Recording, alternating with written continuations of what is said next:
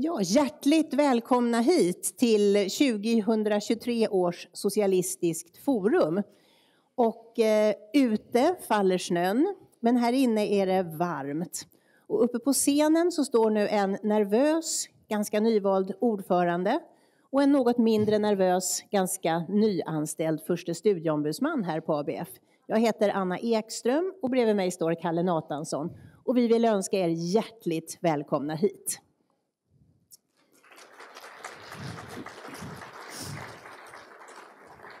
Vi tycker också att det är lite passande att det snöar utomhus. Därför att eh, klimatet är nu, på alla sätt man kan mäta, ganska så bistert.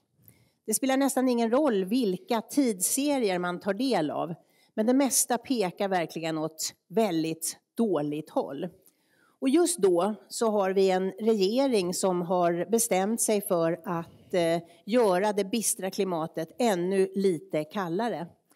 Och vi som är verksamma inom folkbildningen, vi märker det in på bara skinnet. Det började förra, eh, den första eh, höstbudgeten som kom, som var ett eh, första budgeten på flera decennier när folkhögskolorna fick en ordentlig neddragning.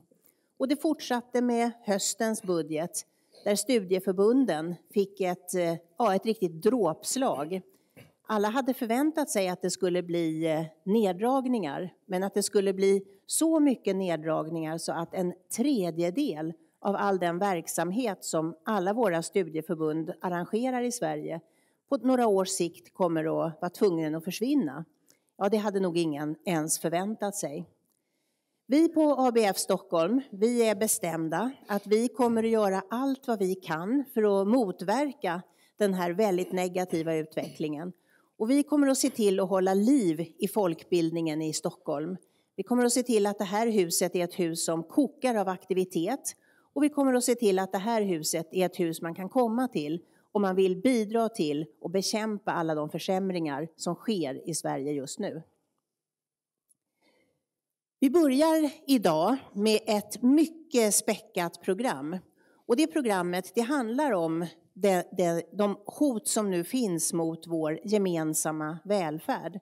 Och jag vill för min del gärna se folkbildningen, kulturen, studieförbunden som en oundgänglig del av vår gemensamma välfärd. Men vi kommer att fokusera på välfärden från alla de olika eh, vinklar man överhuvudtaget kan tänka sig. Vi kommer att diskutera lobbyism, vi kommer att diskutera Eh, hur finansieringen ser ut. Vi kommer att ha allt ifrån världsledande ekonomer till eh, fantastiska poeter på scenen. Och vi kommer att tillsammans eh, bidra, för det är det som gör ABF till en del av vår folkbildning. Ni kommer inte hit för att lära er saker. Ni kommer inte hit för att ta till er kloka saker som sägs från scen, utan ni kommer hit för att bidra inte bara till ett samtal, inte bara till utveckling, utan också, bara bi också bidra till motstånd mot den utveckling som sker i Sverige. De områden som vi ser framför oss kommer att bli lite mer hotade än andra är sådana områden som ligger ABF Stockholm mycket, mycket varmt om hjärtat. Folkbildning har jag redan nämnt. Men vi ser också stora neddragningar och stora förändringar på det internationella engagemanget i Sverige.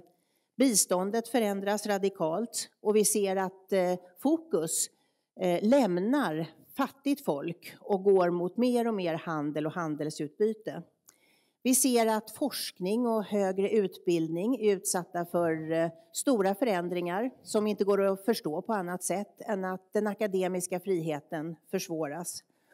Och vi ser också att eh, kulturen kringsnärjs och att det där armlängds avstånd, för att citera en eh, person i eh, det regeringsunderlag som nu styr Sverige, ja, det beror ju på hur lång armen är. Vi ser också att antisemitismen ökar i Sverige och vi ser att islamofobin ökar och vi ser att arbetet mot rasism är viktigare än någonsin.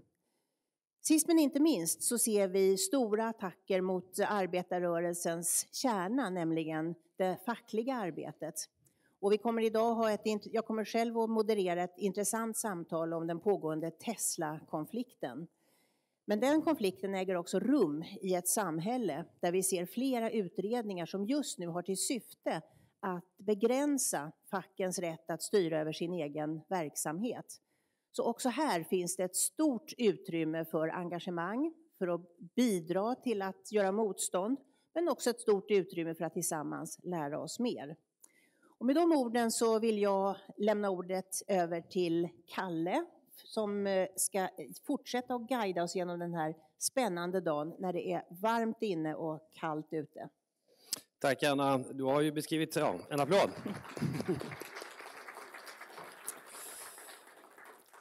För oss var det självklart att välja årets tema motstånd och mobiliseringsslaget om välfärden. Det pågår helt klart ett slag om välfärden. Vi hörde också Annas inledning om de politiska utmaningarna eh, och de hoten vi ser. Eh, det finns långdra, eh, lång, eh, mångåriga här, hot och utmaningar när vi pratar om såklart vinster i välfärden, vi pratar om skolan, vi pratar om äldreomsorgen, vi pratar om pensionssystem, vi pratar om socialförsäkringssystem. Det finns mycket att, mycket att göra.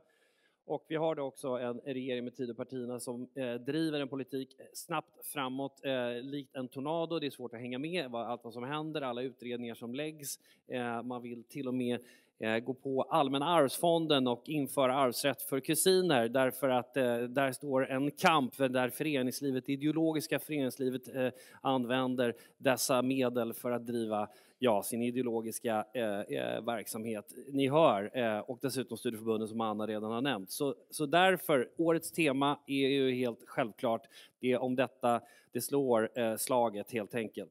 Och eh, ni kommer nu få vara med på en, eh, en heldags eh, event, ett lustfyllt och kampfyllt event eh, som erbjuder inte mindre än 56 programpunkter. Vi har 35 samverkande organisationer, vi har 28 bokbord Eh, och vi har långt över 150 medverkande i våra programpunkter. Eh, när ni springer mellan alla de här seminarierna och försöker hinna med, vi har fått höra några axplock på saker och ting som händer, inte minst eh, fighten om kollektiv, eh, eh, den svenska modellen, Tesla-fighten eh, som kommer här, plus en rad andra saker, så kommer ni ha svårt att hinna med mellan programpunkterna, men ni kommer också någonstans vilja få någonting att äta och dricka och då är ju cirkeln och bakfickan såklart öppen för detta. Ja, med de här orden så vill vi bara säga ha en fin och eh, lustfylld, kampfylld eh, socialistiskt forum och eh, vi ser fram emot eh, eh, energifyllda samtal och debatter. Hjärtligt välkomna hit till Socialistiskt forums första riktiga seminarium. Och vi som står på scen, det är jag som heter Anna Ekström som är ordförande i ABF Stockholm. Vi har Bo Rothstein som är senior professor i statskunskap ifrån Göteborg. Vi har Eira Arb Sakrisson som är viceordförande i Reformisterna. Och ni vet Reformisterna har gjort någonting som heter Lobbykollen som Eira ska berätta lite mer om. Och så har vi Niklas Altemark som är docent också i statsvetenskap. Han kommer från Lund eh, och jobbar halvtid också som utredare på tankesmedjan Katalys. Och vi ska tillsammans, eh, och tillsammans med er diskutera lobbyism och vad lobbyism kan ha för påverkan på den framväxande välfärdsmarknaden i Sverige. Och en sak som jag har funderat mycket över också, vilken påverkan lobbyismen kanske ännu mer har haft på eh, att det är, har varit så förtvivlat svårt att eh, ändra reglerna för den välfärdsmarknad som redan finns. Och jag går tillbaka några år i tiden när jag börjar fundera kring hur vi ska lägga upp det här seminariet tillsammans. För typ tio år sedan så satt jag på en varm eh, bänk, en parkbänk i Visby och blev intervjuad av en kollega till Bo som hette Stefan Svallfors. Han gjorde en, eh, de gjorde en intervjustudie inför en bok som skulle komma och som skulle heta De policyprofessionella. Fick jag det rätt nu? Och I den intervjun minns jag att jag själv satt som, ja, som Kulla-Gulla. En otroligt... Eh, eh, jag ska inte använda ordet godtrogen, utan en otroligt moraliskt grundad uppfattning hade jag då. Nämligen att lobbyism kan per definition inte vara något problem. För det är ju alltid det bästa argumentet som vinner. I regeringsformen, i vår grundlag, så står det att alla offentliga beslut ska fattas på ett sådant sätt så att det speglar saklighet och opartiskhet.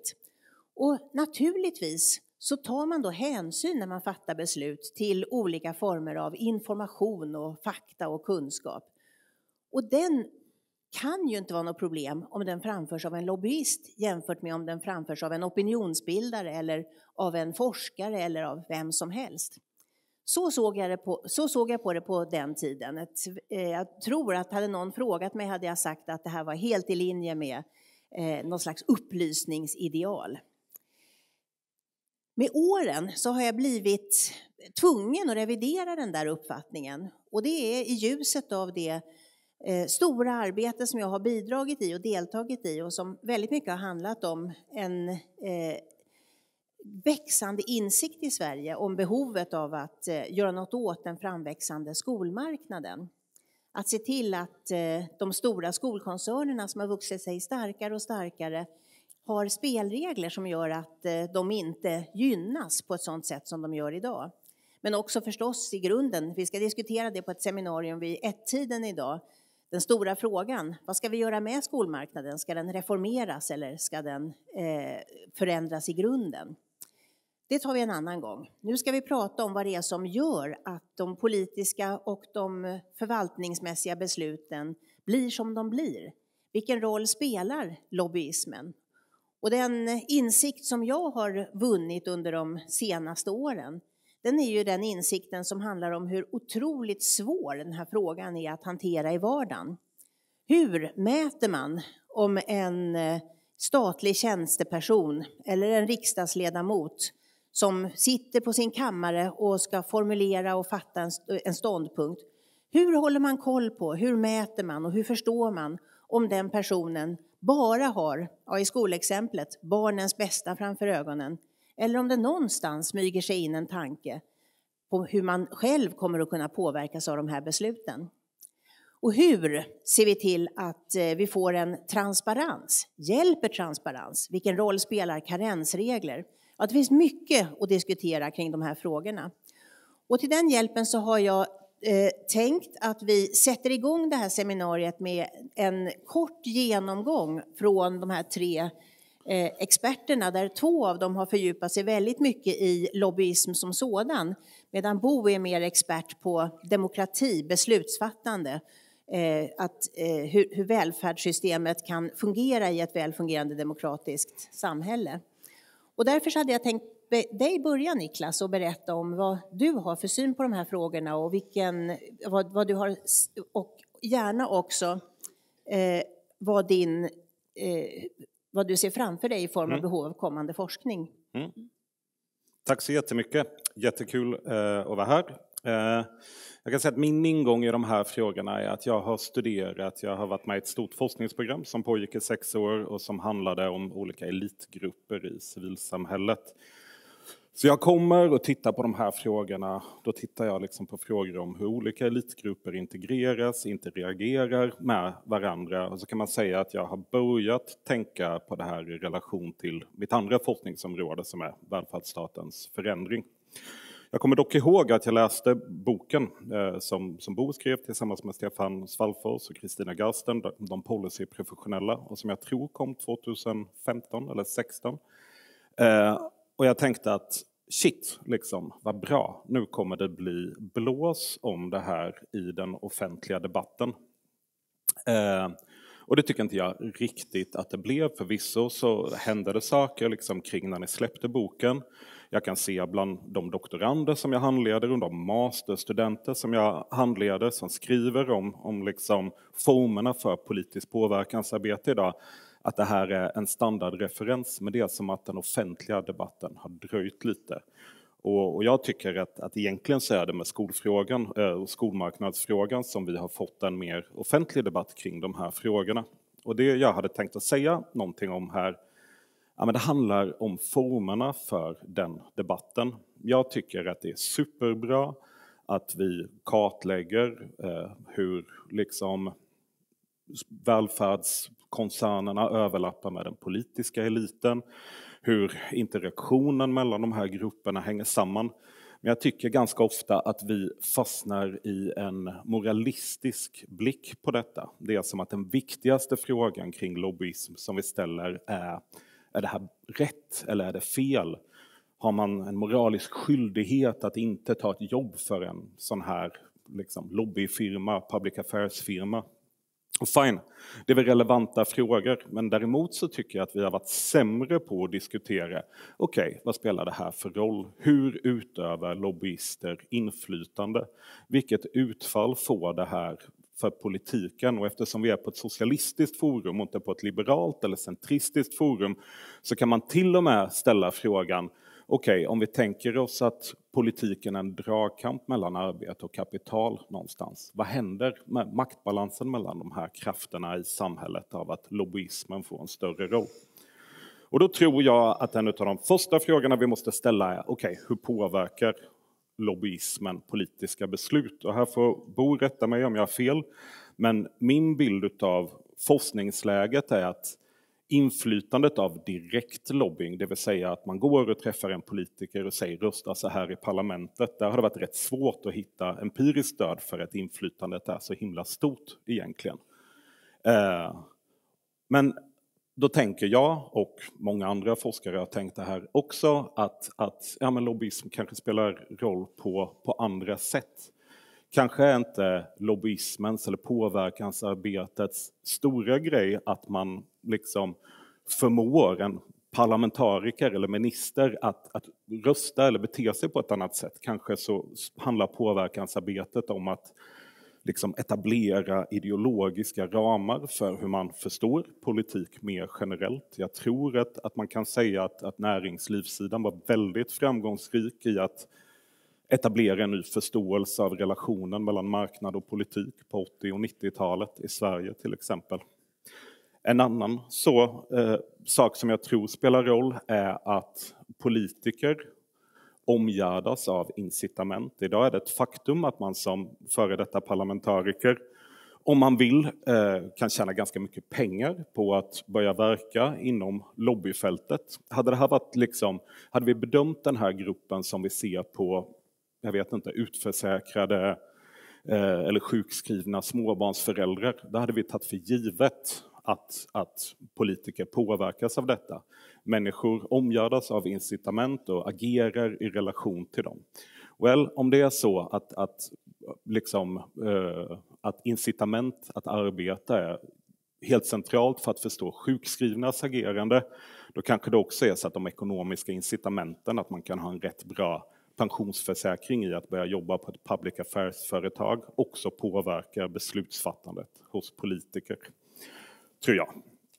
Eh, och slutligen så tror jag också att det finns någon typ av socialiserings och nätverkseffekt. Alltså på ett sätt kan det bli lite missvisande att prata om de här överlappningarna mellan, mellan näringslivsintressen och politiska intressen som lobbying. Alltså jag får snarare bilden av att det här är liksom en social sfär på samma sätt som liksom vissa delar av forskningssamhället och arbetarrörelsen överlappar så är det här en grupp människor som har anpassat sig och format varandra. Så Håkan Juholt sa ju att det här som klägget, att man kindpussas och dricker vin. Men man gör inte bara det, utan man formar en gemensam världsbild. Så. Och de här sakerna tror jag spelar roll och jag tror att en av de utmaningarna som vi står inför som, är liksom, som vill få, få ett grepp om hur det här fungerar, det är att förstå hur de här mekanismerna faktiskt får konkreta politiska effekter. Och det hoppas jag att vi ska prata mer om också. Det ska vi göra. Eh, och jag inser nu att jag har begått en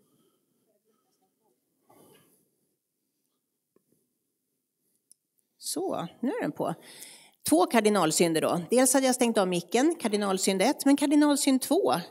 Vi har ingen definition av lobbyism. Vi borde ju börja seminariet med det inser jag nu. Har du någon Niklas? Eh, Nej, utan...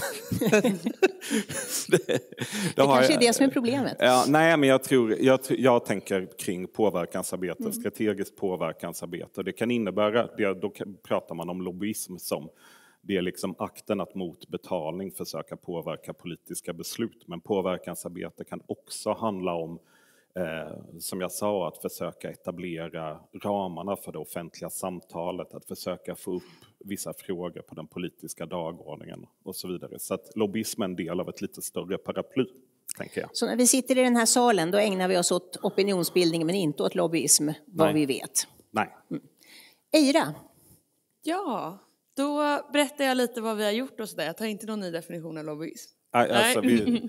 Den var bra tycker jag. Men jag kan bara först säga, eh, om någon av er inte vet, jag ser någon engagerad medlem här och sådär, så det är ett forum där de flesta vet. Men föreningen Reformisterna som jag kommer representera och prata om, det är alltså en socialdemokratisk eh, förening. En ekonomisk politisk socialdemokratisk förening. Eh, och eh, vad vi har gjort då på det här ämnet, vi har börjat engagera oss, jag ska berätta lite om varför strax, jag berättar först vad vi har gjort. Eh, så det blir liksom eh, motstånd och mobilisering, hur har vi valt att göra liksom politisk action och motstånd och mobilisering mot vad vi ser som näringslivets stora inflytande över framförallt välfärdspolitiken, men det, det finns överallt annars också, tror jag. Men vi har lanserat en hemsida som heter lobbykollen.se. Eh, idag har den ungefär 40 000 unika besökare, så den har blivit rätt populär. Eh, och det är alltså en socialdemokratisk förening som med ideella krafter har lanserat Sveriges enda och största lobbyregister, kan man säga. Och det som finns där, det vi har gjort är att kräva ut, alltså begära allmänna handlingar. Det är ju den, den demokratiska möjligheten vi har. Eh, och då är det begära ut mejl eh, mellan de stora välfärdskoncernernas lobbyister eh, och fyra ministrar på välfärdsområdet. Det är utbildningsminister, finansminister, sjukvårdsminister och äldre och socialförsäkringsminister. Och det här samordningskansliet där SD sitter. Och sen så eh, kollar vi igenom de mejlen och eh, det är hundratals mejl under den här perioden som lobbykollen har varit i kraft, så det är sedan april tror jag, eller något sånt där, eh, i våras. Och, eh, och bland det så finns det ungefär 200 då konkreta möten eller mötesförfrågningar och de lägger vi upp på hemsidan så att man ser eh, vad syftet med mötet var och vem som bjöd in. Ungefär. Och sen kan man, om man vill gräva vidare, kan man be om mejlet. Ehm, och varför har vi då gjort det här och varför engagerade vi oss i det här? Ehm, vi driver frågan om ett bindande lobbyregister och då kommer ju nästa fråga, varför gör vi det? Alltså ett, ett, liksom, ett statligt, alltså en, ett offentligt liksom, lobbyregister som är obligatoriskt, det är vår politiska fråga här. Eh, och vi, och i avvaktan på att det inte kommer så har vi gjort ett eget helt enkelt. Och det är någonting som finns i Irland och Tyskland. Tror jag Tyskland, säger jag fel nu? Ja, jag tror att det är Tyskland, eller hur? Ja. Tyskland och eh, EU inte minst, där det finns svenska parlamentariker och USA och sådär. Eh, och reformisternas liksom huvudfråga, vi, vi skapades kring en vilja att på allvar ta tag i ojämlikheten, att göra en grön omställning, det är helt andra frågor. Men en av hjärtefrågorna är avmarknadisering av välfärden. Och det vi har märkt, eh, så liksom lite det Niklas har varit inne på, är att trots att folket är med oss sedan jättemånga år eh, och trots att liksom professionen verkar vara med oss på liksom med en super, super, super majoritet inom de här områdena. Och att forskningen också verkar vara med oss är att det kanske inte blev så himla bra. Det här med till exempel marknadiseringen av skolan, om man tänker på segregation och massa andra saker, skolresultat. Så är riksdagen för. Och hur, alltså hur kommer det sig och varför har det här blivit så svårjobbat? Varför lyckas vi liksom inte? Vi har ju allt med oss, men varför får vi ändå inte med oss frågan? Och då drog vi slutsatsen att vi måste ta liksom kampen också om lobbyistfrågan, för att annars får vi inte det här progressiva demokratiska inflytandet som vi behöver för att göra en bättre välfärd och massa andra bra progressiva reformer. SD är ett, ex ett intressant exempel. De var emot vinster i välfärden och sen gick Svenskt Näringsliv in med en liksom, superlobbykampanj och sen blev de för. Och exakt vad som hände där kan inte jag veta, men jag vet ju att det har skett en strategisk satsning och att en av riksdagens absolut största partier har förändrat sin ståndpunkt. Eh, så vad har vi sett då på lobbykollen? Jag drar några, några exempel. Eh, ett liksom ganska flagrant exempel var ett eh, mejl från Internationella Engelska Skolan, om ni känner till Barbara Hans Bergström som var DN-reportage, eh, som skrev till utbildningsministern att de gärna fick peta in en lagändring som skulle då ju vara bättre och mer lukrativ för dem i vårbudgeten, för då borde det inte kräva särskilt mycket beredning. Och att SD och KD var mer än måna att stödja en sån process. Eh, det har funnits en, så här, det finns mejl om att ska vi inte ses på någon trevlig uteservering och prata om Svenskt Näringslivs förväntningar på den här utredningen. Och förväntningarna är att eh, eh privata utbildningsgivare inom yrkesutbildningen ska få lägre skatt för att det ska bli bättre konkurrens eh, och sådär. Eh, sen så ett senare exempel, jag vet inte om ni har hört om den här ätstörningskliniken Mandolian som krävs på pengar av Region Stockholm för att de har dubbeldebiterat men de också verkar inte heller använt liksom, de har använt billigare, billigare vårdmetoder eh, helt enkelt på lite olika sätt har de också fått kritik för. De har använt kreab för att försöka påverka och sådär. Så det har blivit en hel del och det som har varit väldigt kul är att det har blivit en hel del, det är det som är hela tanken. Eh, liksom, journalistiska granskningar, det har varit ETC och Aftonbladet har plockat upp flera grejer härifrån. Eh, och det är ju lite det som är tanken. Det är ju både att civilsamhället ska komma in och att journalistiken på ett enklare sätt ska kunna komma in och se men, okay, men vad är det som händer egentligen här. Ehm, och jag skulle också vilja säga någonting om vad vi har gjort för urval. För vi har ju, det här, vi är en ideell förening. Liksom, vi tror ju på ett bindande lobbyregister som gäller alla. Men nu är vi en ideell förening och vi har valt välfärden som vårt, liksom, det får vara det viktigaste ämnet nu på den här lobbykollen. Och vi har ju inte tagit med, alltså, jag skulle ändå vilja säga någonting om det, varför vi inte har tagit med till exempel Kommunal som ju också håller på med lobbying, ju, på ett sätt. De, de vill ju påverka så att man har ett karensavdrag, de vill inte ha karensavdrag längre. Så här. Eh, jag skulle vilja säga att det är det som blir lite med arbete och mm. kapital som jag skulle prata om, den maktbalansen. Att jag tror att det är en fundamental skillnad, jag tycker att det speglar det. Att för till exempel Kommunal, dels tror jag inte att Kommunal är emot ett lobbyregister, de är för. Det är vad jag gissar.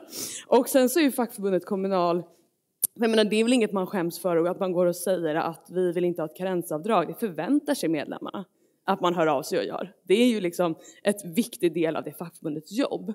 Sen så skulle jag vilja säga att liksom, det det också visar är att här, för de här bolagen, apropå vad det har för inverkan som är svårt att visa, blev det påverkat av det här mejlet eller inte, eller av den här liksom minglet eller vad det nu är, är att för de här bolagen så är det här en jättestor investering.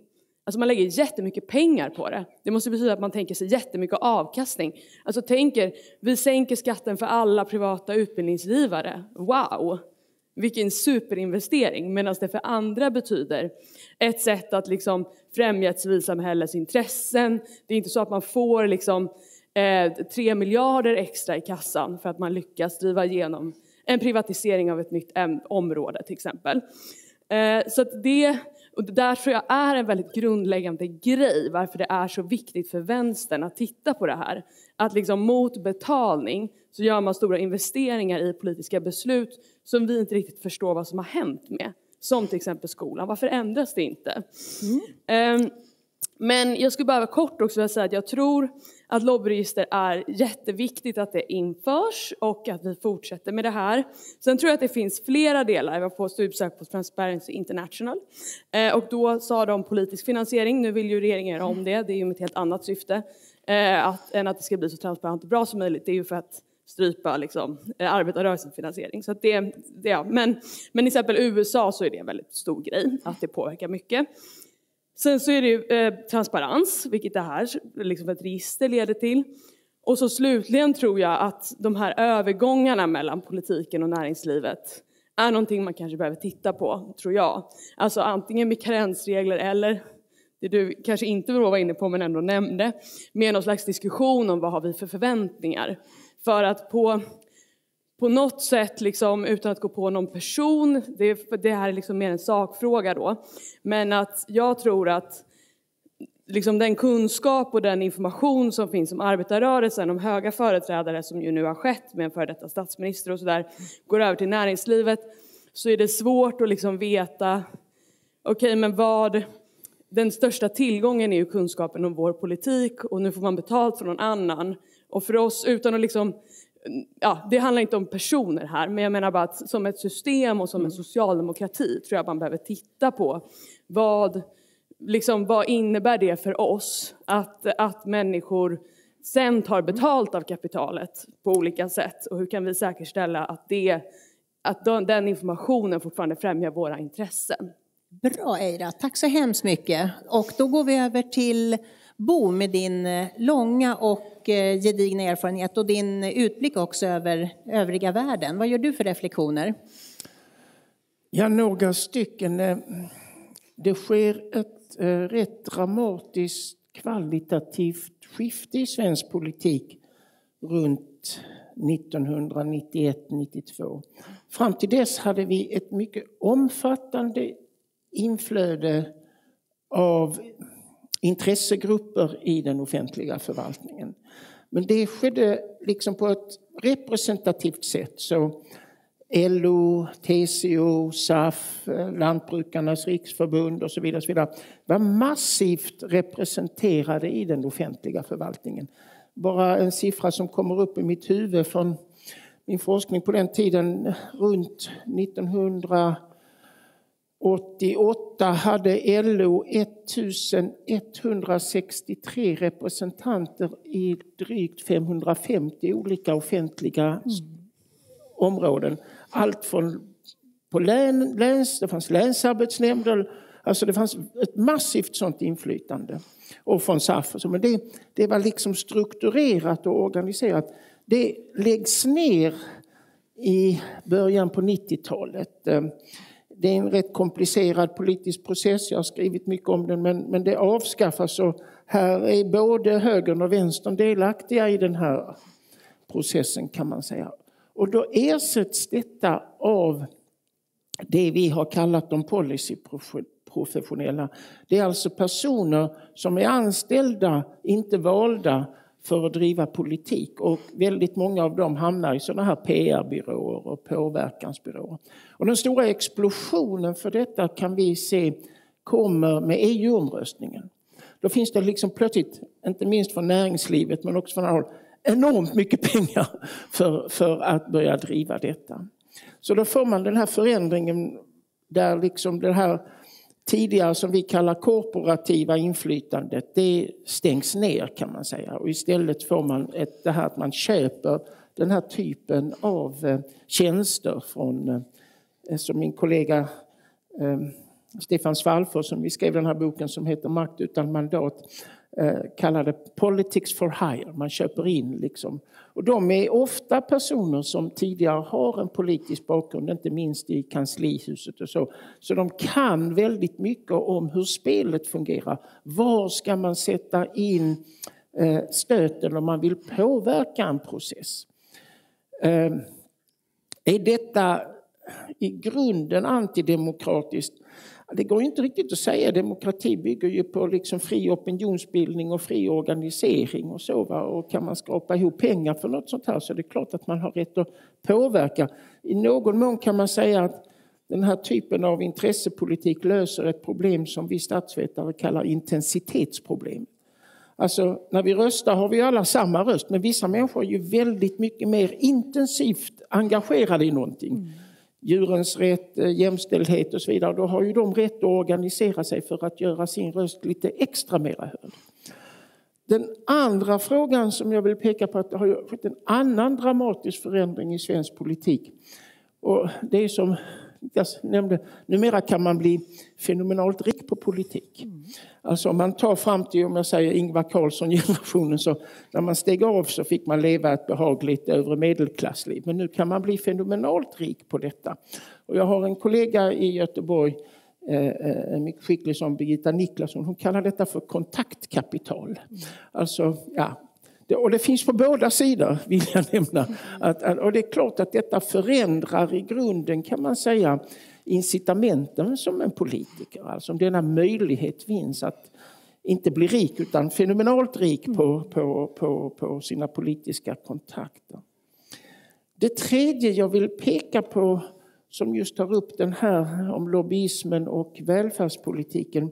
Jag tror att det finns en anledning att vara lite självkritisk här. Jag tillhör de som är mycket negativa till vinstuttag från vissa delar av den offentliga sektorn. När det gäller skolan så finns ju det här argumentet från de som är för detta att utan vinster blir det inte kvalitet. Och jag har nyheter, jag har råkat vara lärare på några av världens främsta utbildningsinstitutioner, Oxford och Harvard till exempel. Och de vill naturligtvis göra ett överskott för att investera i utbildning. Men de har aldrig delat ut en enda krona till någon extern ägare, för de har inga. De for profit-universitet och skolor som finns i USA har dessutom otroligt dåligt rykte för att lura av folk pengar till värdelösa utbildningar. Så det argumentet är genuint ohållbart. Men jag tror här fanns ett problem här, eller två, när den här frågan kom upp i början på 90-talet om att man skulle kunna bedriva offentlig verksamhet i privat regi. Det ena problemet var att vänstern inte tog tillfället i akt och stödde personalkooperativa företag. Hade man gjort det, hade till exempel inte fackföreningarna varit mycket tveksamma eller motståndare, skulle vi idag kunna haft tusentals personalkooperativa eh, förskolor, skolor, vårdcentraler, äldreomsorg. Men stopp, va? man var liksom skräckslagen för detta. Det andra är att det är viktigt att göra en distinktion. När den här politiken började på 90-talet råkade jag just vara lärare på ett av de här ställena på haven. Och sökte det upp, i USA hade man ju haft enormt mycket sån här privatisering av offentlig verksamhet. Så jag sökte upp en, de kollegor som hade forskat om detta. Den främste var en man som hette John Donahue på, på Harvard. Och vad han pekade på var något väldigt viktigt, nämligen om man skulle privatisera offentlig verksamhet så skulle man tänka på tre saker. Det måste vara kontrakt som går att bryta. Man måste kunna verkligen skapa konkurrens. Blir det bara privata monopol är det ännu sämre. Men det viktigaste var att han gjorde en distinktion. Nämligen i vissa områden så är vi liksom intresserade av utfallet att bussen kommer, att soporna hämtas och så vidare. Och där går det rätt lätt att skriva kontrakt och där fungerar det. Men i andra områden är vi ju intresserade av processen, hur eleverna undervisas, hur de gamla tas om hand om och så vidare. Och där är det nästan omöjligt att skriva kontrakt. Va? Alltså, Frågan ställdes ju varför ska man få göra vinst på att bygga en skola men inte på att driva? Och skälet är mycket enkelt. När man bygger en skola kan man skriva ett tydligt kontrakt. Men när det gäller hur verksamheten ska gå till, hur skriver man ett kontrakt med att de äldre ska behandlas med respekt för deras integritet? Det går ju inte. Va? Så man skulle gjort den distinktionen och sagt okej okay med privatisering när det gäller de här verksamheterna, men inte de här verksamheterna. Här tror jag man, genom att man blankt sa nej till det mesta så gjorde man ett strategiskt misstag här. Alltså. Tack så mycket Bo. Och eh, väldigt eh, bra grund nu för den fortsatta diskussionen. Eh, vi vet alltså att det finns en skillnad mellan lobbyism och opinionsbildning, även om den är notoriskt svår att beskriva. Och Eira, vad gör man om Kommunal går till Kreab och beställer en opinionsbildningsinsats från Kreab? Det kan ju Kommunal göra lika väl som använda sina egna ombudsmän. Men vad är skillnaden egentligen? Det här är jättesvårt att, eh, liksom, att, att eh, ordna definitioner. Får jag påminna om en sak som jag tycker är lite rolig i det här sammanhanget. Jag är ju från början arbetsrättsjurist. Och i arbetsrätten så är det väldigt enkelt. Ja, det är jättekomplicerat förstås, men man kan förenkla det och säga att om en nyckelperson lämnar ett företag och går till ett annat företag då får företag A skriva en konkurrensklausul och förbjuda arbetstagaren att använda sin kunskap i nästa företag. På vissa områden men inte på andra. Allmän kunskap, sånt man har lärt sig, sånt man förstår, insikter, det får man använda fritt. Det är förbjudet i Sverige att skriva klausuler som förbjuder medarbetare att använda sina kunskaper. Men däremot så är det absolut stopp på att ta med kundregister. Kundregister får man absolut inte ta med. Och det påminner lite om det som ni beskriver som vi lite fångar in. Att det som en lobbyist med bakgrund i politik eller förvaltning egentligen har som eh, sin sell, som sin unika selling point, det som gör den personen riktigt attraktiv och möjlig att bli svinrik som du, eller du sa inte svinrik, du sa jätterik eller något sånt där. Mm. Det är telefonboken. Och det är också de kontakter som man har skaffat sig under ett långt liv. Så det tycker jag är en väldigt intressant sak. Jag tror nog själv också det här som, som Bo, och Eira och Niklas är inne på. Egentligen, vad är det företagen är ute efter när man vill anställa en före detta politiker eller före detta tjänsteman? Det är inte insikter i precis när i lagstiftningskedjan som man ska göra vad, utan det är telefonboken. Mm. Vad gör vi då åt detta? Karenstidsregler är ju någonting som man diskuterar mycket och det har vi ju infört nu. Räcker det? Lobbyregister eh, har vi fått ett in, infört ett lobbyregister på privat väg här nu tack vare reformisterna. Räcker det? Vad är det vi behöver egentligen? De här korta svar på bara de här med lobbyregister och, trans, eh, och, eh, och, och eh, karenstider. Räcker det? Ja eller nej? Nödvändigt men inte tillräckligt skulle jag tro att ni svarar allihopa. Ja, jag kommer svara det Eh, I alla fall, jag, jag, tror precis som, som, som Bo var inne på att, att det, är liksom, det är problematiskt att, att, att förbjuda det här. Så att jag tänker mer i termer av, okej, okay, vad kan olika politiska rörelser verka för, för opinionsbildningsklimat? Så. Och då skulle jag säga till Kommunal att nej, gå inte till Kreab. Mm. Så. Och där tror jag, får jag säga en kort sak till? Absolut. Om jag lovar att jag är snabb. Så tror jag att också en sak som, som man ska väga in i detta just i diskussionen kring arbetarrörelsens företrädare och svängdörrarna så är att det här är ju såklart ett trovärdighetsproblem för arbetarrörelsen på ett helt annat sätt eftersom vi ändå har vår politiska förståelse strukturerad ifrån att det finns vissa grundläggande motsättningar, intressekonflikter i samhället. Och här, om man går från ett arbetarparti, eller ja, ett arbetarparti till den andra sidan så ser det ju ut som att man byter sida i den intressekonflikten medan en, en övertygad marknadsliberal som tror att fri företagsamhet kommer bringa lycka och glädje åt alla, för de finns inte det perceptionsproblemet. Och det tycker, där tror jag att jag, när jag tittar på diskussionen i socialdemokratin eh, så att där finns det en naivitet. Så kring att, att man inte förstår riktigt, okej, okay, men hur ser det här ut? Mm. Eh, men du tycker ändå att transparens och karensregler, det är liksom ja, ja, någon det, slags eh, det är renlighetskrav? Eh, mm. Ja, ja, det är mm. toppen. Jag tror att detta har att göra med hela makroövergången från kooperativismen till mer informella typer av påverkansformer.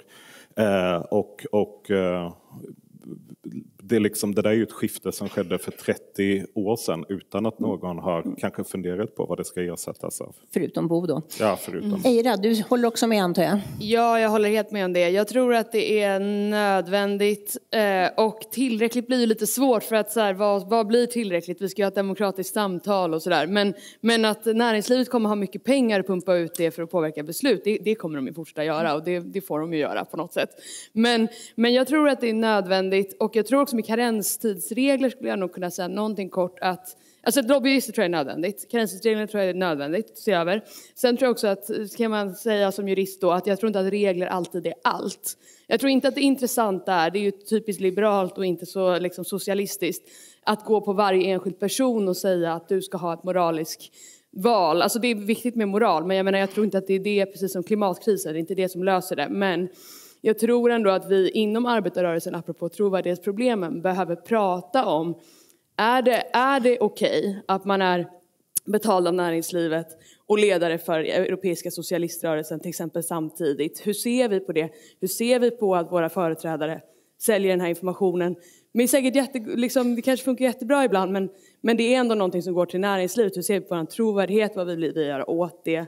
Så jag tror både på liksom strikta karenstidsregler men jag tror också på kanske interna regler eller på något sätt att reglera det här så att vi upprättar vår egen trovärdighet och att vi litar på att den här värdefulla kunskapen stannar. Som, som vi, det vi betalar med vår tid och allt vi gör, att det stannar kvar i arbetarrörelsen. Så att, eh, men, mm. men väldigt viktiga åtgärder tror jag. Bo, när ni skrev den här De policyprofessionella så kommer jag ihåg att när den presenterades då blev ju reaktionen ifrån gruppen policyprofessionella en ganska sårad reaktion. vad tusan är det här? Vi är hedervärda medarbetare. Vi öppnar upp demokratin. Vi gör att alla kan få tillträde till den politiska sfären. Eh, mot en betalning visserligen, men eh, vad, vad, säger du? Eh, finns det, vad, hur ska vi hantera den där moraliska? För att eh, jag kan väl också tänka mig att det är en viss skillnad om man jobbar på en PR-byrå om man medvetet och i sitt kontrakt har inskrivet att jag, tänker, jag ska bara hjälpa pro bono, jag ska bara hjälpa folk som vill minska utsläppen att åstadkomma det. Finns det den typen av moraliska kriterier som man kan liksom föra in i den här typen av övergångar?